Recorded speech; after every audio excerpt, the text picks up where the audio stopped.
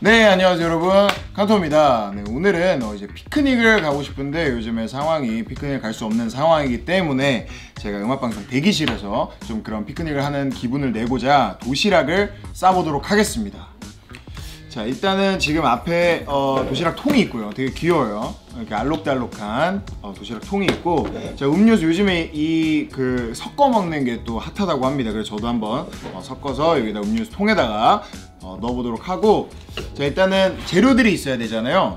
재료들은 지금 제가 또 준비를 했습니다. 자 여기 잡곡밥이 준비가 돼 있고요. 자 그리고 여기에 이제 해산물 이제 그 단백질을 또 섭취해야 되기 때문에 해산물들이 있습니다. 자 그리고 여기에는 디저트 이렇게 디저트들이 준비가 되어 있습니다. 자 누가 봐도 잡곡밥이고 누가 봐도 어, 새우고요. 누가 봐도 자갈 문어고 누가 봐도 오징어. 네 저만 그렇게 보이는 거 아니죠? 여러분들도 다 그렇게 보실 거라고 생각을 합니다. 자 그러면 1층부터 한번 제가 싸보도록 할게요. 1층에는 밥이 들어가야겠죠 원래?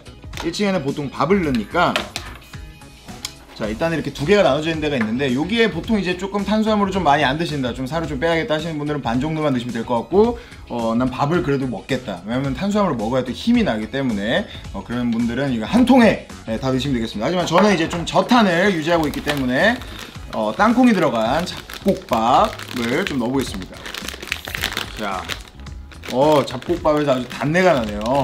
네, 너무 좋아요. 원래는 밥은 이제 그 수저로 퍼야 되지만 저는 밥을 이렇게 털어 먹습니다. 이렇게 털어서 밥을 많이 많이 자 넣어줄게요. 자 이렇게 밥을 반쪽에 넣고 그리고 그 옆에는 보통 이제 김치 막 이런 반찬들을 넣죠. 이제 저는 하지만 저탄 고단을 하기 때문에 고단백질 섭취를 하기 위해서 저는 옆에 문어를 넣겠습니다. 밥이랑 문어를 같이 넣고 자 문어를 자 문어들이 너무 싱싱해요. 보이시죠? 막 오, 자 너무 싱싱해요. 자 문어들이 너무 싱싱해. 아 잠깐만! 잠깐만! 아, 아, 아, 아, 자 문어들이 산 산문어가 몇 개 있었네요. 네 그렇습니다. 자 그리고 2층! 자 2층에도 좀 단백질을 좀 넣도록 하겠습니다. 원래 보통 이제 마지막 층에 디저트를 넣잖아요. 마지막 층에 디저트를 넣기 때문에 어, 새우랑 오징어는 친구예요. 아 문어랑 오징어를 2층에 넣을 걸 그랬네요. 하지만 새우랑 그 오징어도 친하기 때문에 새우를 밑에다가 이게 깔아놓고 그리고 위에 오징어를 오 네. 새우가 팔딱팔딱 너무 신선해서. 자, 그 위에 오징어들을 좀 이렇게 넣겠습니다. 자, 오징어를 이렇게 솔솔솔솔솔솔솔. 자 오징어가 많이 사. 자 그렇습니다. 제가 이렇게 오징어를 이렇게 솔솔솔솔 이렇게 뿌려놓고요. 자, 이렇게 딱. 어, 내가 너무 욕심을 냈나 보다. 그죠? 잠시만요. 밥을 제가 너무 욕심을 부렸어요. 밥을 좀 줄여야겠어요. 우리 밥량을 좀 줄이고 밥량을 줄이고 문어도 조금만 줄여서 네 자, 됐습니다 디저트 예 이제 3층에 놓도록 하겠습니다 어, 인절미랑 어 그 그 칸초를 준비를 해봤습니다. 제가 또 좋아합니다. 많은 분들이 이제 예전부터 칸초를 많이 또 선물을 많이 보내주셨어가지고 칸초를 원래부터 뭐 많이 먹었던 건 아니지만 어, 칸토를 하면서 칸초를 좀 많이 먹은 것 같아요. 인절미를 이렇게 놓고.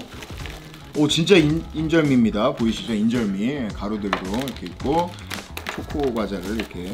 솔솔솔솔솔솔솔솔 이렇게 뿌립니다 자 아까는 베이스하고 위에 깔았고 지금은 딱 반반으로 이렇게 느낌 있게 한번 해봤습니다 자 그러면은 모든 도시락이 이제 완성이 됐고 근데 내가 잘못했나봐요 그죠 이게 이건가? 1층에 이렇게 밥이랑 문어를 넣고 2층에 이제 그 새우랑 이제 오징어들을 넣고 3층에 이제 디저트들을 이렇게 놨습니다. 도시락은 이제 옆에다가 두고요. 이렇게 잘 이렇게 해서 이렇게 두고 이번 음료수 우리가 또 마실 게 또 필요하잖아요. 그러니까 음료수를 한번 만들어 볼게요. 이 두 개를 섞어서 요즘에 먹는 게 또 유행이라고 합니다. 그래서 저도 한번 만들어 보려고 하는데 자, 이 모구모구를 음료를 먼저 넣고 그 다음에 이 sparkling을 살살 따르면은 이 층이 갈린다고 합니다. 그래서 층이 갈리는 거를 저도 한번 도전을 해볼 텐데 자 일단은 알갱이를 잘 섞이게 좀 흔들어 주시고요. 흔들어 주시고 자 좀 따라 보겠습니다. 여기다가 쭉 따르고 뭐한 이, 이 정도 한번 일단 따라 볼게요. 제가 따랐고 이거를 천천히 따라야 된대요. 이게 너무 빡 따르면은 이렇게 축 하고 다 섞이니까 천천히 한번 제가 따라 보겠습니다. 어 이거 너무 안 천천인가? 잠시만요. 이렇게 나올 줄 몰랐는데. 과연 자 지금 층이 보이나요? 난 안 보이는데. 어? 좀 보이는 것 같기도 하고요. 여러분 보이시나요? 자, 눈을 크게 뜨고 한번 봐주세요. 자 보여 보여 보여. 자 보시면은 자 위에가 저 위에만 이렇게 탄산이 있고 밑에는 이렇게 맞죠 이거 층이? 자 여기 보시면은 어 층이 좀 생긴 것 같아요. 근데 제가 실패를 한 거라면은 여러분들이 한번 좀 알려주시면 제가 다음에 한번 기회가 되면 또 다시 시도를 해볼게요. 근데 일단은 층이 생긴 것 같은데 어 그 말씀을 드리는 순간 좀 이렇게 섞인 것 같긴 합니다만 지금 위에 보시면 위에가 조금 더 짙고 밑에가 연하다는 좀 억지를 부려보도록 하겠습니다. 그리고 살짝 섞어볼까 했는데 섞으면 폭발하지 않을까요? 그래서 가볍게 한 번만 쇽쇽만 흔들고 어, 자 이제 이렇게 해서 요즘에 유행한다는 모구 sparkling을 만들어 봤습니다. 네, 제가 이렇게 도시락을 만들어 봤습니다. 자 이제 여러분 저랑 같이 피크닉을 떠나러 가볼까요? 자 갑시다. Let's go!